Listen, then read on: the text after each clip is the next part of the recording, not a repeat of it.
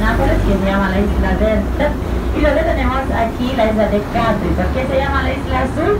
Bueno, miren el color del mar, miren los diferentes, eh, las diferentes tonalidades de azul que se pueden ver, ver aquí. En verdad no hay muchas playas, pero la gente se puede meter desde mayo hasta noviembre, porque hace bastante calor.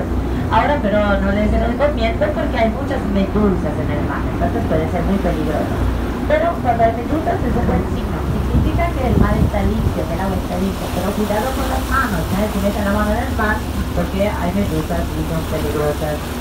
Ahora, Capri es muy conocida por la cantidad de cuevas, de grutas que hay. Naturalmente, claramente la uh, cueva más famosa es la cueva azul, la gruta azul.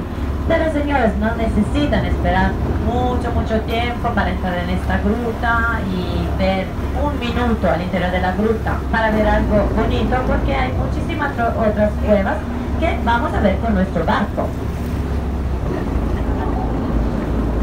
A Elisa estava falando, justamente a mais famosa das grutas aqui de Capri é a Gruta Azul. Mas o tempo de espera para a Gruta de Capri, agora nós estamos em alta estação e chega a ser de até uma hora. E não é necessário, não, não é só na Gruta Azul que se vê tanta beleza. Capri, como para as pessoas estar com toda a possibilidade, Capri tem uma conformação rochosa calcária que permite a, a realização de grutas. Então, ao longo desse percurso, nós também vamos ver algumas delas. Essa daqui é a primeira delas que nós vamos ver, como eu falei de flores antes, é a dos corais ou gruta vermelha. Nosso barco vai entrar devagarzinho, então os senhores poderem perceber essa formação de corais nas rochas, corais vermelhos. Atento, atento também a cor da água. A senhora Elisa está falando, cada pouco que nós pararmos, os senhores vão ver como a cor da água. Várias cores. Haciendo ahora? eh? ¿Por qué estamos esperando aquí? Porque vamos a entrar ahora en esta gruta que se llama la gruta verde o también la gruta de los corales. Porque señores, ustedes saben que uno de los productos de las joyas más conocidas de Capri son los corales.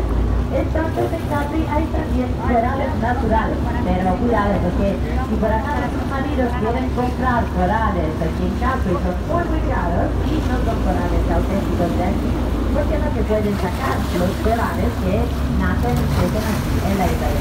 ¿Cómo ver los corales? Ahora tenemos que estar de cerca alrededor de la ruta, por favor, cuidado, miren a los dos lados de la pared del mar, porque cuando el agua sube y baja, se ve el original coral rojo de Capri. Entonces vamos a ver qué corales vamos a ver, ¿no?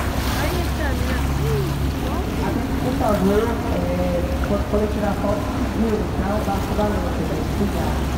Carmen Corais, organização lancha. São valseiros dos corais da Irenicapa. Nem sempre tá, fáceis de achar, porque são muito caros e não podem ser retirados. Então, muitos dos corais que se resolver a venda na Irenicapa não são de Capri. Talvez lá, Palmeiras.